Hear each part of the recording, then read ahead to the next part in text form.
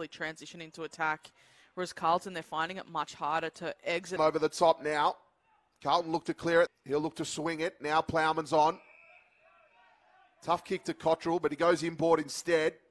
Boyd will go back to Plowman.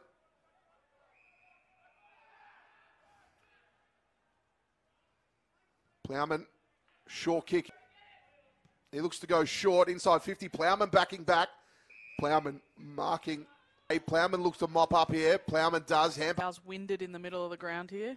Plowman just finding himself in the right spot. He'll go short to Carroll. Can Brisbane win the contest? They do in the end. He get wide now to Binns. Binns looking for Plowman. Plowman playing on. He goes short away to Fletcher. Fletcher now with a high up and under kick. Plowman under there. He just fist. Cottrell as well. Comes out to Plowman.